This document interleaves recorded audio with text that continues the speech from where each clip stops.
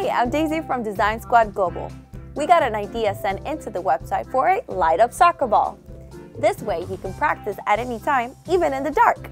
When I first thought about how to solve this problem, which was to design and build a light up soccer ball, I brainstormed a few ideas.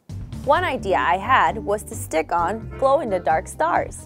These stars are pretty cool. I can stick them to the ball and they lay flat, and that way they don't get in the way when the ball rolls on the ground. But these glow in the dark stars need to be charged. They don't last a long time and they're not strong enough, so I need to come up with a better solution. Then I tried wrapping the ball with Christmas lights. Now these lights are very bright, but they make it impossible for the ball to roll smoothly. They're also fragile, so if I kick them really hard, light bulbs will break. And I also have to connect it to an outlet. So this idea won't work. This is my third idea, the EL wire. EL stands for electroluminescent. EL wire is a copper wire coated with a material called phosphor. Phosphor makes the copper wire glow when you run electricity through it. The EL wire is powered by the batteries inside this pack. The EL wire is pretty thin and flexible. I can bend, sculpt, and wrap it around the ball easily.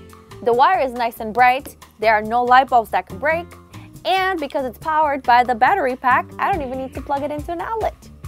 The ball rolls pretty smoothly with the wire on, but this battery pack is a problem. I can't just stick it on the outside because it could possibly break. But maybe I can put the battery pack inside the soccer ball. The good thing is that this is a foam soccer ball that I can cut in half, install the battery pack, fasten the two parts together, and the ball will roll just fine. Now, I'm going to be using a saw to cut my soccer ball in half, so make sure that if you use a saw, to get an adult's permission.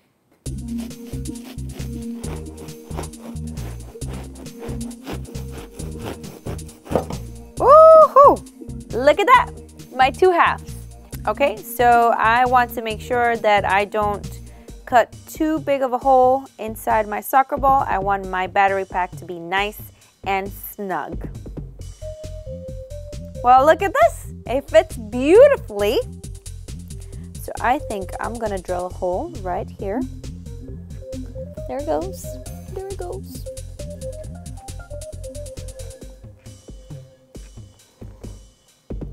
Yes! Ha ha ha ha! That's good. That's pretty good. That's good, good, good. I should be able to attach this here. The only issue is that I need to be able to get into the battery pack so I can change the battery when this one dies. I can't glue the two halves together, but maybe I can use Velcro. It's strong enough to keep the ball together and I can easily take it apart so I can get to the battery pack and change it. This Velcro is very sticky in the back. Okay. This is a sticky situation. I'm gonna turn this on. And now I'm just gonna keep threading my wire around this half.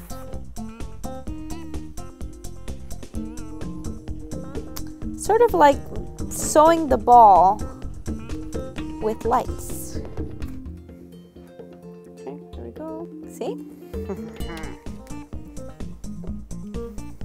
the good thing about EL wire is that you can cut the excess wire off, the part you're not going to be using, and the rest of the wire will still light up.